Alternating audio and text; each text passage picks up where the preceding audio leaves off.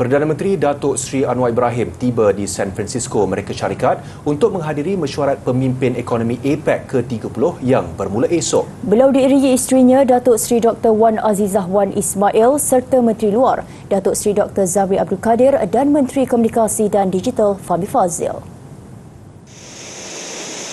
Ketibaan Datuk Seri Anwar disambut Menteri Pelaburan, Perdagangan dan Industri Datuk Seri Tengku Zafrul Aziz. Hadir sama Duta Malaysia ke Amerika Syarikat, Datuk Seri Muhammad Nazri Aziz dan Konsul Jeneral Malaysia di Los Angeles, Anil Fahriza Adnan.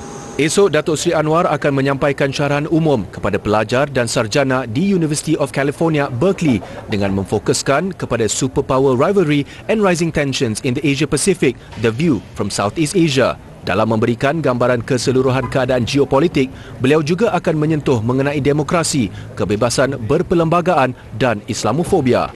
Pada sebelah malam, Perdana Menteri akan menghadiri majlis jamuan malam bersama kira-kira 16 ketua pegawai eksekutif syarikat multinasional. Bertemakan membina masa depan yang berdaya tahan dan mampan untuk semua, APEC 2023 dijangka menerima pakai Deklarasi Golden State 2023 pemimpin APEC dan memajukan usaha ke arah merealisasikan visi Putrajaya 2040 APEC.